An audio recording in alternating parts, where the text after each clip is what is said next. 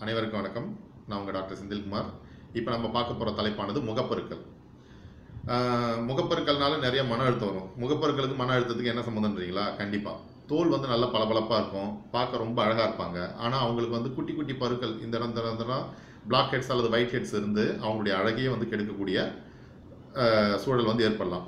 இருந்தாலும் பெண்களுக்கு முகப்பொருட்கள் அழகு தான் ஆண்களுக்கும் முகப்பொருட்கள் அழகு தான் பட் அதுவே அந்த முகப்பருக்களே ரொம்ப அதிகமாக போச்சு அப்படின்னா அது அசிங்கமான தோற்றத்தை ஏற்படுத்தும். எப்படி இந்த முகப்பற்கள் வருது அப்படின்னு பார்த்தீங்கன்னா வச்சுக்கோங்களேன். செபேசியஸ் கிளாண்ட் சொல்லக்கூடிய முடி வேர்க்காலில் ஒரு கிளாண்ட் இருக்குது அந்த முடி வேர்க்கால் வேர்க்காலில் உள்ள கிளான்ஸ் தான் வந்து சேபம் அப்படின்ற ஒரு எண்ணெப்பொருளை வந்து சுரந்து நம்முடைய தோலில் வந்து வறண்டு போகாமல் பாதுகாத்து நம்முடைய பளபளப்புக்கும் நம்முடைய அழகுக்கும் ஒரு காரணமாக அமையுது.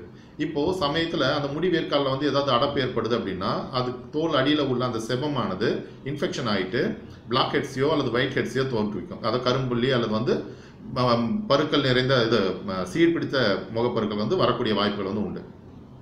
சரி ஓகே எனக்கு வந்து முகப்பருக்கள் இருக்குது நான் என்ன பண்ணணும் அப்படின்னு பார்த்தீங்கன்னா வச்சுக்கோங்களேன் நீங்கள் ஃபஸ்ட்டு முகப்பருக்களை கிள்ளவே கூடாது. அது பிளாக் ஹெட்ஸாக இருந்தாலும் சரி ஒயிட் ஹெட் ஒயிட் ஹெட்ஸாக இருந்தாலும் சரி அதை வந்து கிள்ளக்கூடாது. அது பழுத்து வர வரை பொறுமையாக இருந்து அந்த சீடை வந்து பொறுமையான முறையில் பஞ்சை வச்சு சுத்தமான முக முறையில் வந்து வெளியேற்றணும் அடுத்தது வந்து ஒரு நாளைக்கு ரெண்டு முறை சோப்பால் முகம் கழுவுங்க. அதாவது உங்கள் ஸ்கின்க்கு வந்து எந்த சோப் செட் ஆகுதோ அந்த சோப் போட்டு முகம் கழுவுங்க. ரெண்டு முறை சோப் போட்டு முகம் கழுவணும். கண்டிப்பாக ஒரு மூணு முறை வெறும் தண்ணியால் அதாவது ப்ளைன் வாட்டரால் முகம் கழுவி துடைக்கிறது நல்லது. துடைக்கும் போது நிறைய பேர் அழுத்தி அழுத்தி துடைப்பாங்க. அது மாதிரி அழுத்தி துடைச்சிங்கன்னா ஸ்கின் செல்ஸ் வந்து டேமேஜ் ஆக வாய்ப்புகள் உண்டு. டர்க்கி டவலால் ஒத்தி இருக்கிறது தான் நல்லது. நிறைய பேர் வந்து ஃபேஸ் மாஸ்க் அல்லது ஃபேஷியலு அல்லது வந்து ஏதாவது ஒரு ஆயிலோ அல்லது வந்து க்ரீமோ அப்ளை பண்ணிட்டு நைட் படுப்பாங்க. அது நல்லதில்லை.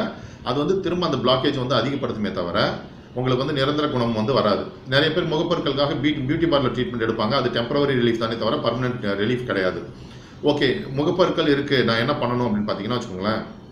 ஃபஸ்ட்டு எண்ணெய் பொருள் எதுவுமே சாப்பிடாதீங்க. ஏன்னா எண்ணெய் பொருள். ஏற்கனவே அந்த செவம்ன்ற கொழுப்பு வந்து அதிகமாக இருக்குது இப்போ நீங்கள் எண்ணெய் பொருள் சாப்பிட்றீங்க அப்படின்னா மேற்கொண்டு முகப்பொருட்கள் அதிகமாக வாய்ப்புகள் உண்டு. சில பெண்களுக்கு வந்து மென்சஸ் டைமில் முகப்பொருட்கள் வரும். அது ஹார்மோனல் பேலன்ஸ்னால் வர்றது. அது யூஸ்வலாக வரும். ஒரு நாலஞ்சு நாளில் மறைஞ்சு போயிடும். அதை பற்றி கவலை இல்லை.